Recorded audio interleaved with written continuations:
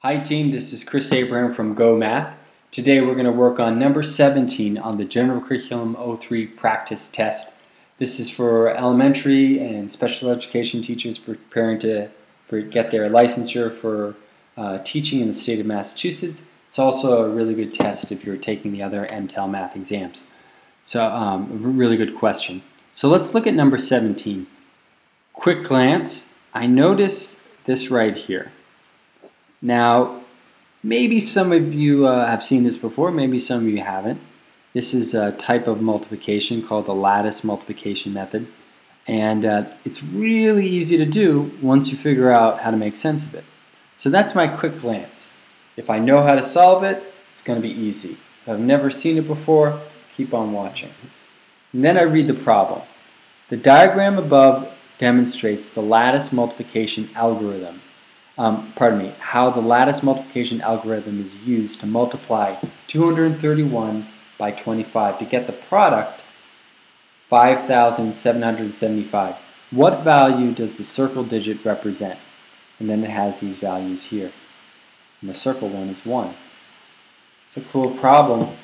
In the problem itself, it has some vocabulary that you got to know. You want to know what lattice multiplication is, and we'll talk about that. It has this fancy smancy word called algorithm. And then also has a product. And then it has a digit and represent. And guess what else it has? Value. And what we say in one of our earlier videos? These words, value, digit, represent, have to do with what key concept? Place value. So when you see value, digit, and represent, you should right away be thinking, hey, Somewhere in this problem it involves place value. But anyways, we'll get to that in a few seconds. Let's go back to some of these other words. Algorithm. Now, what I'm doing with this problem right now is I'm pulling it apart, pulling out the pieces. This is how you have to study, and you go back and you solve it. But you always want to look at these problems, pull out the vocabulary words so you understand them. That way, if you have to go back, you, uh, you know all the parts to that. So the word algorithm it's a fancy smancy way of saying a way of doing something. For example, this is an algorithm for multiplication. This is another algorithm for multiplication. There are two different ways of getting to the product of 6. It's just a way of following a certain set of rules in order to get to a certain result. And you follow the same rules in order to keep everything uh, um, smooth and even. So think of instead of uh, algorithm, you can you can substitute way, a way of doing something. So the diagram above demonstrates how the lattice multiplication way of multiplying, you know, you know, and you can go from there. All right. So don't get don't get intimidated by that word. Now lattice multiplication is uh, is going to get us the same answer if we were to take 231 and multiply it by 25. If we did all the multiplication out, we get a product.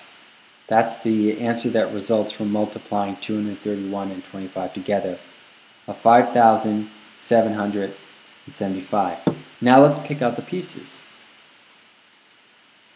In this problem, the 231 is represented on the top and the 25 is represented on the bottom.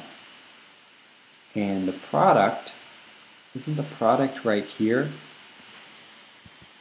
Isn't it right here? 5,775. Now the way you want to read this is the 5 here is our 1s. This column here is our 10s. This is our hundreds. And this is our thousands. And anything in these columns, in these rows, fit into those categories. So, if we just start with this first one, in uh, this digit here, 5, represents five ones. So this also represents five ones. This digit 2 here represents two tens, and this is five tens. Two tens plus five tens equals seven tens, or 70, right? This 4 here represents 4,000. And this is 1,000. So 4,000 plus 1,000 is 5,000. And guess what? This one digit here is in the hundreds column. It represents 100 plus 600 equals 700. If you add all those parts together, you get 5,775. So now if we go back, knowing that this is the one, the tens, hundreds, and thousands, what is the place value of the one digit here? Well, it represents 1 100. The answer is C. Okay, team, I hope you found this helpful.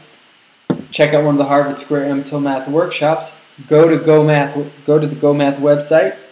Sign up for tutoring if, you, tutoring if you need some help on these math MTELs or other exams. Stay cool. Have a great day. I look forward to seeing you soon. Take care. Bye-bye.